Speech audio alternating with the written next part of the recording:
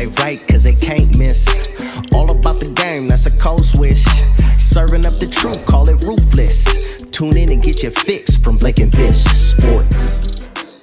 So far, but we can get on to another guy who's also looked just as incredible as Herbert, and that's Matt Stafford. Vish is one of his favorite quarterbacks besides Trey Area, Trey Lance. Matt Stafford played against Tampa Bay, the Buccaneers. Um, their secondary was a little depleted. That needs to be said. But regardless, Matt Stafford put on an absolute show. I want to say he had four touchdowns. He had over 300 yards. The offense looked incredible. Um, Vish, what were your thoughts?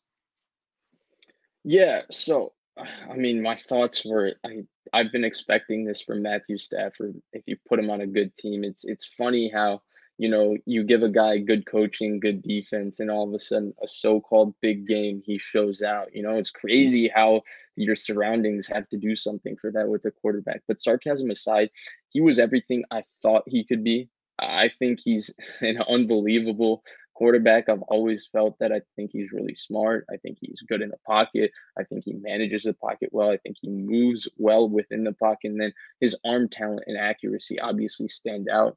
I actually thought he started the game a little over amped. He missed a couple gimme throws um, that were free. And we're going to talk about the effect play calling has on a player. But I thought one of the best things McVay did was when he missed those gimme throws in those first two drives and was one for six. That 95 yard drive when they started from the five, McVay immediately called a screen, couple of screens. He called a couple of very easy completions, and before you know knew it, Stafford had completed three in a row, and they'd picked up a couple first downs. And then Stafford started to feel it, and he started throwing balls like the one on the wheel route to uh, uh, Kupp. He that was an absolute dime. Um, the ball to DeSean Jackson finally when he did connect. I mean, that was effortless flick of his wrist, just put it out there for him. He's an unbelievable quarterback. I, I think most people who've kind of watched him expected him to show out in this situation. But I also thought it was nice because when a player is over uh, amped and you see what a play caller, a very smart and good play caller, can do to build a player's confidence. One of the quarterbacks we're going to talk about today uh, Matt Nagy did not do those things for his young quarterback, but that's for later. But the point is, Matthew Stafford is an unbelievable talent. I'm glad everybody's able to realize it now. He is, he's always been a borderline elite quarterback. And you look at their weapons, I mean, the Rams' weapons, Van Jefferson, Cooper Kupp, they haven't even really gotten Robert Woods going in this offense. Oh, Jamal is all over. DeSean Jackson, it's stacked I thought Sony Michel played very well. I thought Sony yeah. Michel was unbelievable in pass pro. And I actually thought he did a decent job running the football because I didn't think there was a lot of space because Tampa Bay has a historically good run defense. Um, so I thought Sony Michel was a real positive, and then of course their defense, the Rams' defense is good on every level. I think their linebackers, I think Hollins is pretty good. I think Kenny Young's pretty good. I think they're fast. They fly around.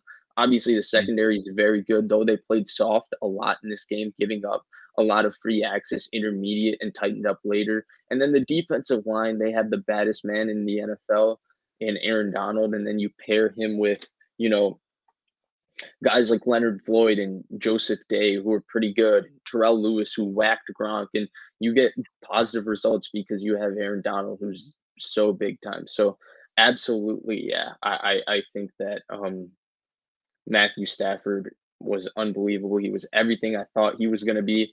And I mean, I, I don't want to say I'm excited because I'm not excited for the Rams to be good. I'm a Niners fan, but they look like a Super Bowl team and they have a Super Bowl quarterback.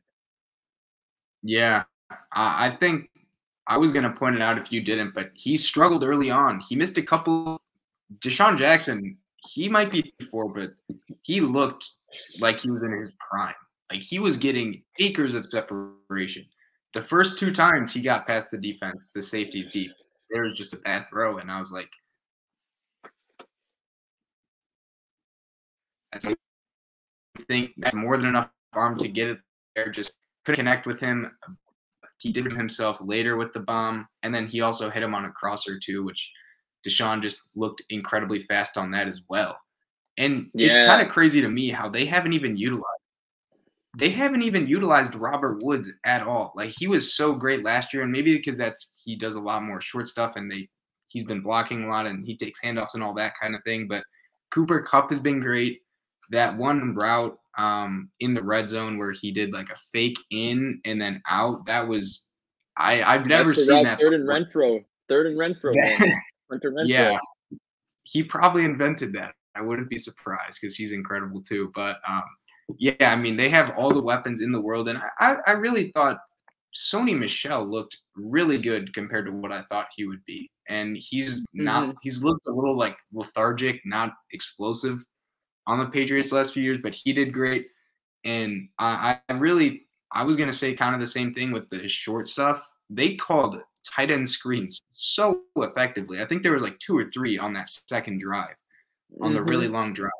You just, it's so effective, so simple, but it really helps the quarterback uh, build confidence. And I mean, if you can get it to work, you do it. So they were able to do that effectively. But the Rams did look very scary, and the defense looked really, really solid too. I know they keep losing guys, but when you have the two best defenders in the league, it almost doesn't even matter. Um, Yeah. we'll see. We'll see as the season goes on. The only negative that I thought, or from this that I took from the Rams, was the McVay celebrating like it's the Super Bowl, and I I didn't even really think about that until I saw someone else say it. It was actually Skip Bayless tweeted, "You would have think that the Rams just won the Super Bowl," and I kind of agreed with No, him. It seemed a bit excessive at he blacked. He definitely blacked. He was seeing red. something wrong. Yeah, McVay was definitely seeing red there. He just lost his mind for that second half. He was going crazy.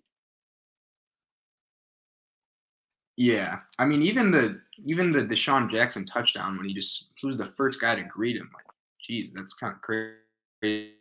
Anyhow, that that's just what I took away. But yeah, not to get too distracted. Stafford, Stafford looked incredible. Um, against a good defense too. Against a good D line. Uh, we Yeah. said their secondary was a little injured, and you can tell, but their D line's still really good.